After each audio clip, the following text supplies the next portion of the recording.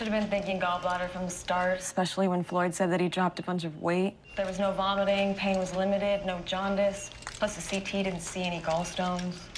Hey, hindsight's 2020. Again, Floyd fixed up. That's all that matters.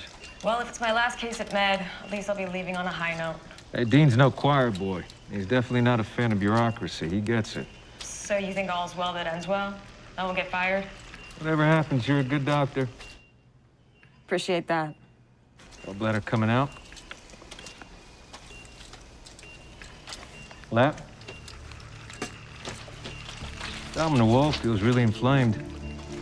Yeah, I saw that on CT, a lot of calcification. No, I don't think that's the case. Feels like something else. Stomach is adhered to the abdominal wall. Scissors? Thank you. Ooh, What are you seeing? Not sure. Hemostat?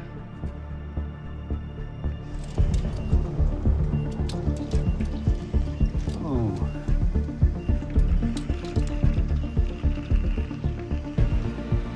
Looks like some kind of bristle. Oh my god, I think I know where that came from.